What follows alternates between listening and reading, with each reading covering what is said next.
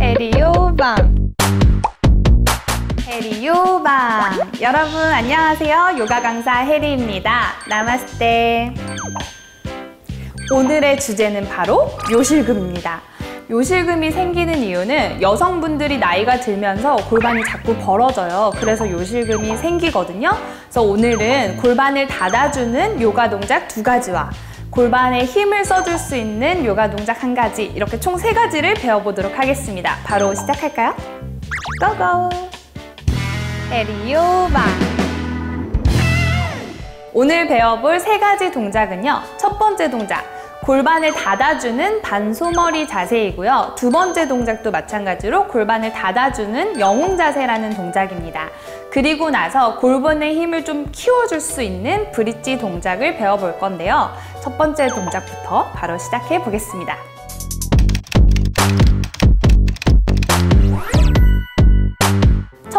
동작은 반소머리 자세입니다. 먼저 한 다리를 앞으로 뻗어주신 상태에서 반대 다리는 그 위에다가 올려줄 건데요.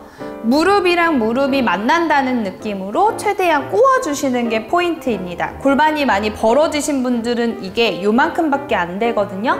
천천히 조절하시면서 다리를 가지고 와보세요. 자, 이 상태에서 엉덩이 바닥에 잘 붙여주시고 양손으로 발바닥을 잡습니다. 마시노의 허리를 폈다가 내쉬노의 상체를 숙여주세요.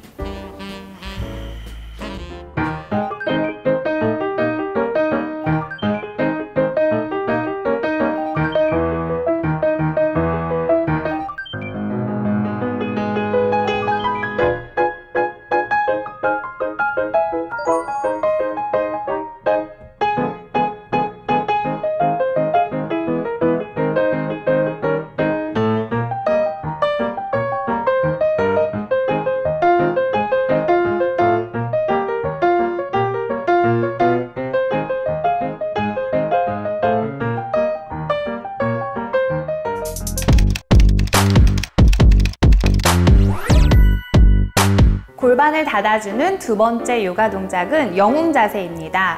먼저 다리를 접은 상태에서 시작을 할 건데요. 두 다리 다 허벅지 안쪽을 바닥에 둔다고 생각을 하시고 앉아주시면 됩니다. 유연하지 않으신 분들은 앉아있는 게 굉장히 힘들어요. 다리를 조금 열고 동작을 해주셔도 괜찮습니다. 이 상태에서 앉아있는 게 너무 힘들면 엉덩이 밑에 쿠션이나 수건 같은 거 깔고 앉아주시면 되고요. 괜찮으시다면 손, 엉덩이 뒤를 짚어서 그대로 내려가겠습니다. 여기서 아프시면 여기까지만 유지하시면 되고요. 또 괜찮으면 등을 대고 완전히 누워볼 거예요. 이렇게 누워주신 상태에서 무릎은 뜨지 않게 바닥으로 눌러주시고 복부 조여주시고 유지를 해보세요. 천천히 팔꿈치 바닥을 밀면서 일어나 주시면 됩니다. 다리를 한 다리씩 풀어볼게요. 털어서 마무리합니다.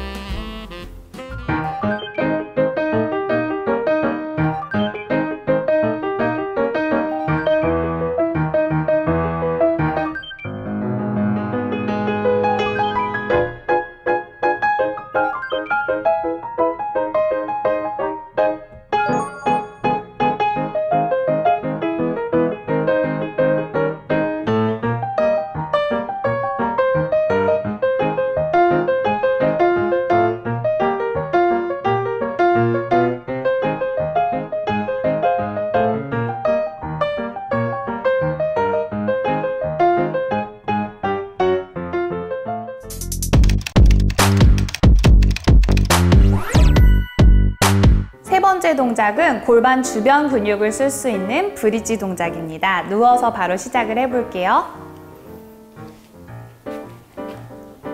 매트에 누워주신 상태에서 다리를 골반 넓이로 두시고요. 양손은 골반 옆에다가 손바닥을 바닥으로 두세요. 호흡을 마시면서 엉덩이를 천천히 밀어서 올라갑니다. 이때 무릎이 벌어지지 않게 주의하시고 복부 힘 주고 엉덩이 힘 주시면서 동작을 유지를 해보세요. 여기서 힘을 더 쓰고 싶으신 분들은 두 다리를 붙이고 유지하시면 됩니다.